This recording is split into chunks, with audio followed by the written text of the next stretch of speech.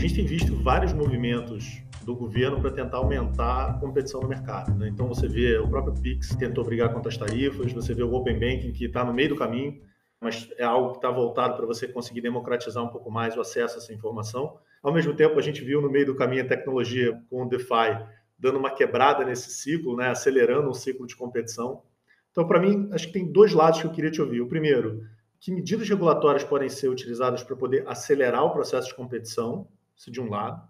E do outro lado, para uma empresa sobreviver nesse ciclo de competição, que nem sempre é estimulado pelo governo, mas que agora talvez tenha saído do controle e que tenha um movimento, uma velocidade muito grande, o que, que as empresas têm que fazer para saírem vencedoras desse processo? A regulação ela tem que estar a serviço da evolução. Eu tenho certeza que o nosso Banco Central ele tem uma agenda extremamente positiva e que tem sido muito produtiva nessa direção. Né? Basta ver que hoje a gente já tem bancos digitais, nativos digitais, que são tão valiosos quanto muitos outros bancos tradicionais. Isso se deve, sem dúvida nenhuma, a essa agenda positiva do Banco Central, que através de regulações pró-competição, pró-modernização do sistema financeiro, permitiu o surgimento desses inúmeros modelos de negócio.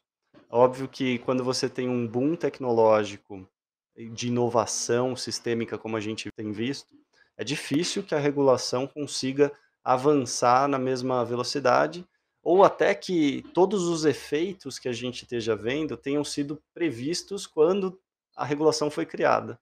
Mas ela é extremamente positiva no sentido de promover essa competição, de promover uma abertura do mercado, de criar as bases sólidas e, e seguras para que você tenha novos modelos de negócio sendo criados. Quando do surgimento de instituição de pagamento, uh, isso permitiu que, com os modelos corretos, para o usuário, do ponto de vista de usuário, você criou uma série de novas empresas que podiam oferecer uma conta e o usuário não consegue distinguir essa conta de uma conta bancária.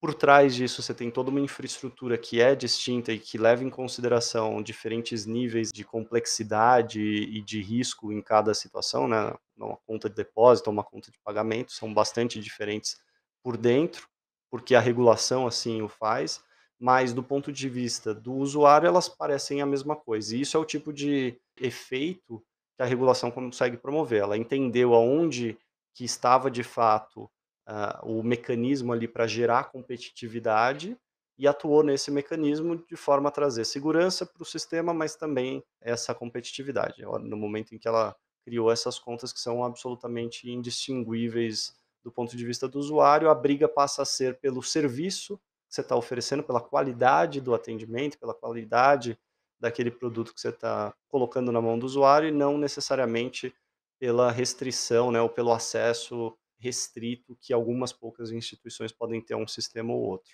E isso promove a competição. Agora, de novo, né, a evolução desse sistema ela é um pouco difícil de prever e a regulação tem que ir se atualizando a cada momento. Como que as empresas se posicionam nesse mundo? elas precisam, obviamente, entender profundamente a regulação. Não tem como você navegar esse mercado sem que você se aprofunde e entenda os impactos daquilo que você está se propondo a fazer. E precisa ser ágil para observar mudanças, tanto tendências né, tecnológicas, tendências filosóficas até que estão vindo de fora, e como que você pode aproveitar essa oportunidade, quanto até de novo, dentro de uma análise regulatória bastante profunda, entender onde tem oportunidades e como que você navega por essas oportunidades.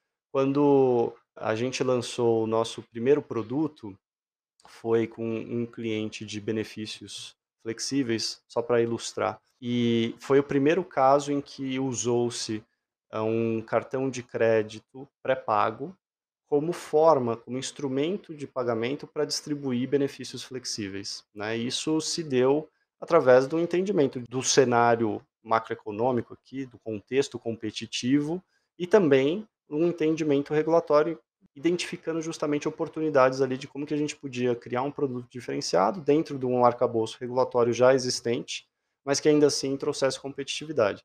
Então não tem uma solução fácil aqui, as empresas precisam estar, tá, obviamente, on top, né? precisam saber qual que é o mercado que estão atuando, entender as tendências que estão vindo de fora, conhecer a regulação e trabalhar de forma rápida a aproveitar essas oportunidades.